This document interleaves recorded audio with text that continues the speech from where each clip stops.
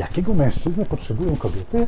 Kobiety potrzebują solidnego mężczyzny, który chodzi do pracy, wstaje wcześniej rano, e, który wypełnia wszystkie swoje obowiązki, jest odpowiedzialny, odpowiedzialny. On nigdzie się nie spóźnia, na nim można polegać. Jeśli powie, on wykona wszystko. Ona wie z kim, o której, gdzie on jest i ona może zaplanować swoje wydatki, zawsze jest tam o czasie odpowiednia suma pieniędzy.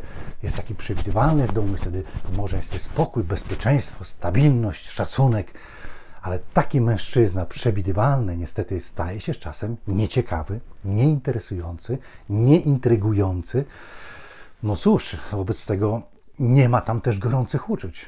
Ten nieprzewidywalny, ten wariat nieobliczalny, który nie wiadomo gdzie jest, o której przyjdzie, co dzisiaj w ogóle zrobi, taki jest kochany, za takim kobiety szaleją. Dlatego powiedzcie same, kim mamy być, abyście wy były szczęśliwe.